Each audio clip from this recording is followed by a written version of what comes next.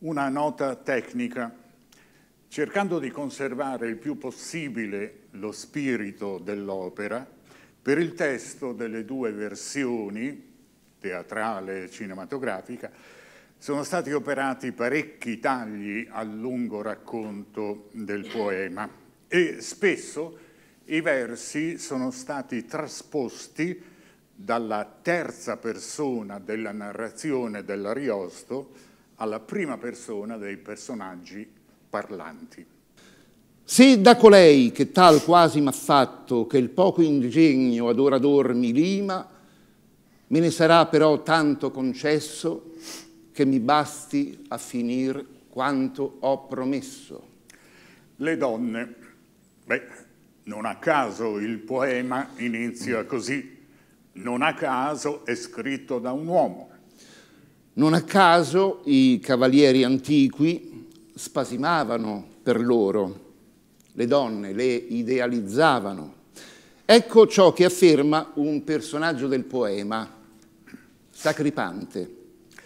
La Verginella è simile alla rosa, che in bel giardin, su una nativa spina, mentre sola e sicura si riposa, né gregge né pastor se le avvicina. L'aura soave, l'alba rugiadosa, l'acqua, la terra al suo favore si inchina. Giovani vaghi e donne innamorate amano averne e seni e tempie ornate. Ma non si tosto dal materno stelo rimossa viene e dal suo ceppo verde che quanto avea dagli uomini e dal cielo, favor, grazia e bellezza, tutto perde. La Vergine, che il fior di che più zelo che dei begli occhi e della vita verde, lascia altrui corre, il pregio che avea inanti, perde nel cor di tutti gli altri amanti. E lo stesso sacripante, incontrata Angelica, esprime il proposito di passare all'azione. Corrò la fresca e mattutina rosa che tardando stagion perder potria. So ben che a donna non si può far cosa che più soave, più piacevol sia, ancor che se ne mostri disdegnosa, a talor mesta e flebil se ne stia non starò per repulsa o finto sdegno, ch'io non adombri e incarni il mio disegno. Nel poema gli episodi come i personaggi sono tantissimi. Ne ricordiamo due. Nel primo Astolfo racconterà come è stato trasformato in mirto dalla maga Alcina a Ruggero, che giunge sull'ipogrifo nell'isola della maga stessa. Come si presso è l'ippogrifo a terra, ch'esser ne può men periglioso il salto, Rugger con fretta dell'arcion si sferra e si ritruova in sull'erboso smalto. Tuttavia in man le redine si serra, che non vuol che il destrier più vada in alto. Poi lo lega nel margine marino a un verde mirto in mezzo un lauro e un pino. Signore, se tu sei cortese e pio, come dimostri alla presenza bella, lieva questo animal dall'arbor mio, basti che il mio mal proprio mi flagella, senza altra pena, senza altro dolore, ch'attormentarmi ancor venga di fuore. Al primo suon di quella voce torse Ruggero il viso e subito le vosse, e poi cuscir dall'arbore s'accorse, stupefatto restò più che mai fosse. A levarne il destrier subito corse, e con le guance di vergogna rosse, qualche tu sii, perdonami, dicea, o spirito umano, o boschereccia dea. Il mio nome fu Astolfo e paladino era di Francia, assai temuto in guerra. Leggiadro e bel fui sì che di me accesi più d'una donna, e al fin me solo offesi. Ritornando io da quelle isole estreme che da Levante il mar Indico lava, ver ponente io venia, lungo la sabbia, che del settentrion sente la rabbia. Giunsi alla bella spiaggia, ove un castello siede sul mar della possente Alcina. Trovammo lei, cuscita era di quello, e stava sola in ripa alla marina. Guardommi Alcina e subito le piacque l'aspetto mio come mostrò ai sembianti e pensò con astuzia e con ingegno, tormi ai compagni e riuscì il disegno. Alcina in gran delizie mi tenea e del mio amore ardeva tutta quanta. Io mi godea le delicate membra, pareami aver qui tutto il ben raccolto. Né di Francia né d'altro mi rimembra, stavomi sempre a contemplar quel volto. Quando credea d'essere felice e quando credea ch'amar più mi dovesse alcina, il cor che m'avea dato si ritolse. E ad altro nuovo amor tutta si volse. E seppi poi che tratti a simil porto avea mille altri amanti. E tutti a torto. E perché essi non vadano pel mondo di lei narrando la vita lasciva che qua chi là per lo terren fecondo li muta altri in abete, altri in oliva, altri in palma, altri in cedro, altri secondo che vedi me su questa verde riva. Nel secondo episodio che ricordiamo, ecco il paladino per eccellenza, Orlando, eroe innamorato, devoto e rispettoso che da tempo ha lasciato Parigi e Carlo Magno per andare in cerca della tanto adorata Angelica, del cui amore egli non dubita affatto. Ecco il giudicio umano come spesso erra. Errando io sempre andai col mio cavallo, cercando in ogni bosco senza via. Tra il fin d'ottobre e il capo di novembre, nella stagione che la frondosa vesta vede levarsi e di scoprir le membra, trepida pianta, finché nuda resta, e van gli augelli a strette schiere in sembre, io allora entrai nell'amorosa inchiesta. Né tutto il verno appresso lasciai quella, né la lascio ora nella stagione novella. Giunse ad un rivo che parea cristallo, nelle cui sponde un bel pratel fioria, di nativo color vago e dipinto, e di molti e belli arbori distinto. Il merigge facea grato l'orezzo al duro armento ed al pastore ignudo, sì che ne Orlando sentia alcun ribrezzo, che la corazza avea, l'elmo e lo scudo.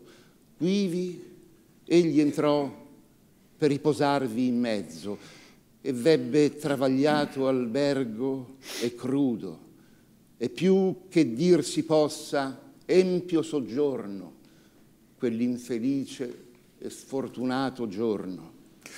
Poi che mi volgo intorno vedo scritti molti arbuscelli in sull'ombrosa riva, ed ora che vi ho fermi gli occhi e fitti, son certo esser dimande la mia diva. Qui Angelica e Medor, con cento nodi legati insieme in cento lochi, vedo.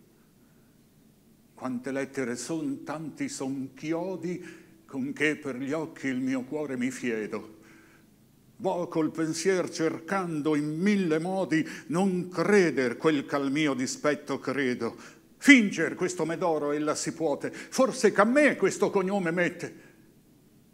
ma sempre più s'accende e più rinuova, quanto spenger più il cerco, il rio sospetto, come l'incauto augel che si ritrova in ragna o in visco verdato di petto, quanto più batte l'ale e più si prova di disbrigar, più vi si lega stretto. Ora io vengo ove si incurva il monte a guisa d'arco in sulla chiara fonte. Hanno qui in sull'entrata il luogo adorno coi piedi storti, edere e viti erranti. Qui vi riparo al più cocente giorno, trovano se lo bramano gli amanti. E Angelica e Medor, dentro e d'intorno, più che in altro dei luoghi circostanti, qui sta scritto, in carbone ed anche in gesso e con le punte di coltelli è impresso, ma questa scritta arabica qui io penso omai tradurre, ed è questo il suo senso.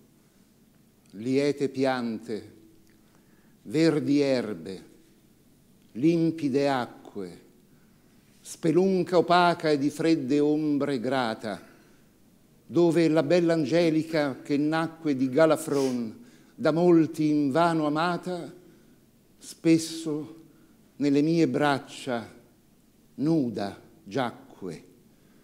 Della comodità che qui mi è data, io, povero Medor, ricompensarvi d'altro non posso che d'ognor lodarvi tre volte, quattro e sei letto l'ho scritto, oimè infelice, pur cercando in vano che non vi sia tutto quel che v'è scritto. E sempre più lo vedo, è chiaro e piano, ed ogni volta in mezzo il petto afflitto, stringermi sento il cor con fredda mano. Qui resto al fin con gli occhi e con la mente fissi nel sasso, al sasso indifferente. Il pastore che lo vede così oppresso da sua tristizia e che vorria levarla, l'istoria nota a sé, che dicea spesso di quei due amanti e che volea ascoltarla, che a molti dilettevole fu a udire, gli incominciò senza rispetto a dire com'esso a prieghi d'Angelica bella portato avea Medoro alla sua villa, che era ferito gravemente e che la curò la piaga e in pochi dì guarilla, ma che nel cor d'una maggior di quella lei ferì amor e di poca scintilla l'accese tanto e sì cocente fuoco che n'ardea tutta e non trovava loco. E senza aver rispetto che la fosse figlia del maggior c'abbia il levante, da troppo amor constretta, si condusse a farsi moglie d'un povero fante. Questa conclusion fia la sicure che il capo a un colpo mi levi dal collo. Mi studio qui celare il duolo, eppure quel mi fa forza e male a sconder sollo. Per lacrime e sospir da bocca ed occhi convien, voglia io, non voglia, al fin che scocchi.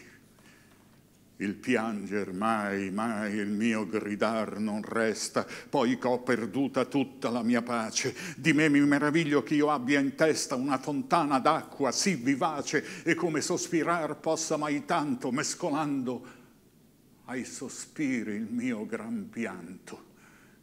Queste non son più lacrime che fuori stillo dagli occhi con sì larga vena, dal fuoco spinto ora il vitale umore fugge per quella via che agli occhi mena, e te quel che si versa e trarrà insieme e il dolore e la vita all'ore estreme. Non sono, non sono io quel che paio in viso, Quel che era Orlando è morto ed è sotterra. Io sono lo spirito suo, da lui diviso.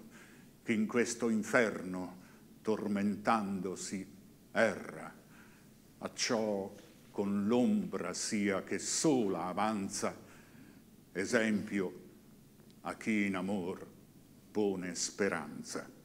Afflitto e stanco, al fin cade nell'erba e ficca gli occhi al cielo e non fa motto, senza cibo, e dormir così si serba, che il sole esce tre volte e torna sotto.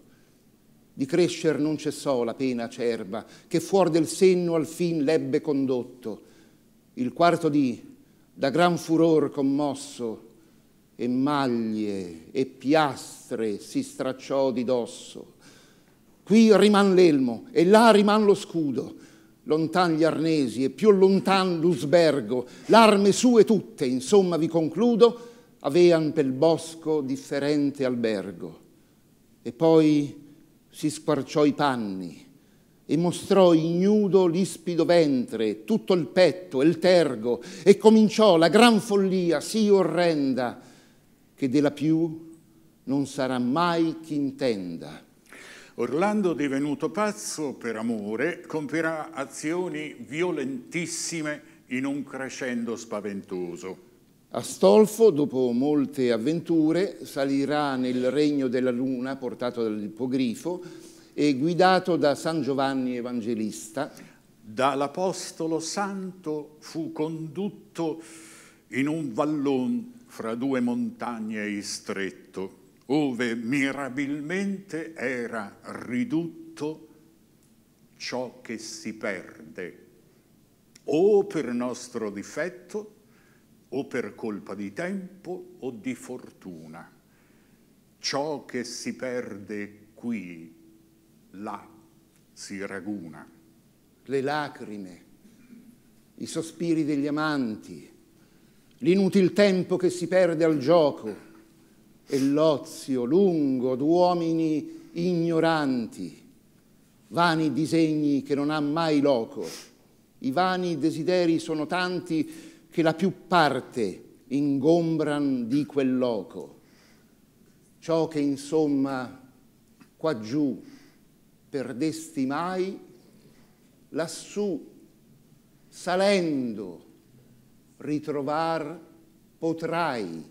E Astolfo ritroverà sulla luna, oltre che il suo, anche il senno di Orlando. E, aiutato dagli altri paladini, costringerà il pazzo a tornarne in possesso, guarendolo dalla sua malattia d'amore. E il poeta, dopo aver raccontato di quella terribile pazzia, esorta caldamente i suoi lettori a non innamorarsi mai, per non vivere le stesse pene di Orlando. Chi mette il piede sull'amorosa pania, cerchi ritrarlo e non vi inveschi l'ale, che non è insomma amor se non insania, a giudizio dei savi, universale. E se ben come Orlando ognun non smania, suo furor mostra qualche altro segnale. E qual è di pazzia segno più espresso che per altri voler perder se stesso? Vari gli effetti sono, ma la pazzia è tutt'una però che li fa uscire. Gli è come una gran selva, ove la via conviene a forza a chi vi va fallire. Chi su, chi giù, chi qua, chi là, travia. Per concludere, insomma, io vi può dire, a chi in amor si invecchia, oltre ogni pena, si convengono i ceppi e la catena. Grazie.